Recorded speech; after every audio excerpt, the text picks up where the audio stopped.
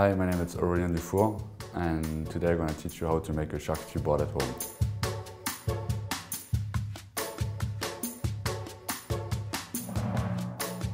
So you're going to start like with the soft one to the spiciest one and before you serve, keep it outside 15 minutes to be room temperature. It's very important. So you have like a terrine, pâté, sausage, red and ham. We're going to use a, a knife very sharp because if you use like a knife, a bread knife, we're gonna broke the terrine. So we need to have something very sharp and very thin. Never push the knife like that because you can see the we're gonna broke everything. So you need to slice like a piece of wood, slowly, you have time, and you take your hand on the front, it's not gonna broke in two pieces. I like to have like nice cubes on my board. So I'm gonna cut like one inch lines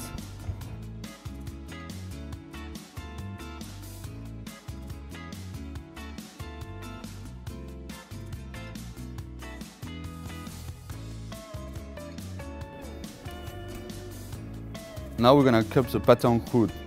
We're gonna use a bread knife because we have the pâte brisée, uh, outside. So it's like a, a crust outside, so we need to have something with some cheese on it. And a piece of wood again. So also you can do like triangles, a bit bigger, so you can see each guest gonna have blood sausage, pork tenderloin, and a piece of foie gras. All the flavor is gonna be married on one bite. But it combines it's 50% uh, of pork livers and 50% uh, of uh, pork jowl. The rillette is one of the easiest one to do at home because you just need like a piece of meat. So we have a pork shank brine and cooked 16 hours. So we're gonna take out the skin on first. It's gonna be pretty hot. We have some fat, we're gonna take it out also because we're gonna add some olive oil on the end. It's like pretty pink meat. It's like very soft and juicy. Eggplant, zucchini, and tomatoes. It's gonna give like a nice flavor of Provençal from south of France. After you can like choose the quantity you wanna put inside to add to the meat. But salt we're gonna add. You can use all, all vegetable you want. It's just like your imagination. That's the, the magic with the charcuterie. You can use everything what you want. But paper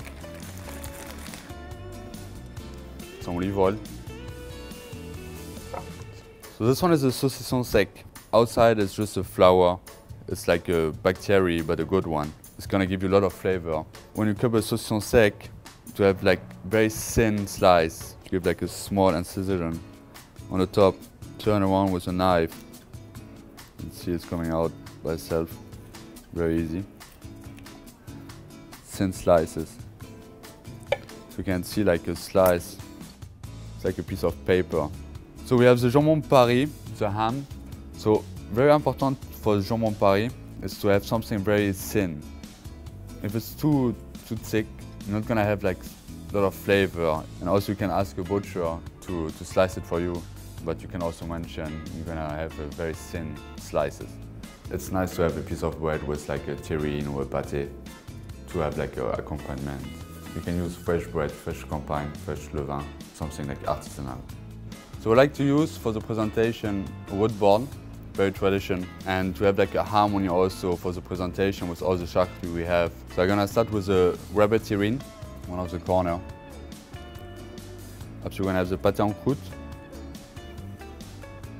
put the fromage de tête, we have the campagne, some nice slice of saucisson sec the jambon Paris, you can give like some volume to the board. A few pieces of bread.